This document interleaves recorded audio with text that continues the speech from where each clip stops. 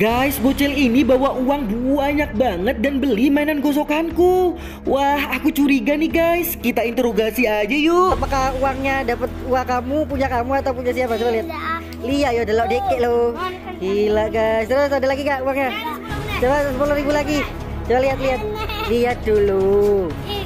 Lihat dulu lo. Ah, di di di. Lihat dulu, lihat dulu. Lihat dulu, ada nggak? Coba lihat lihat lihat di belakang. Coba delok tok, delok tok, delok, delok. Ini uang kamu nih, banyak ini. Buat uang kamu nih.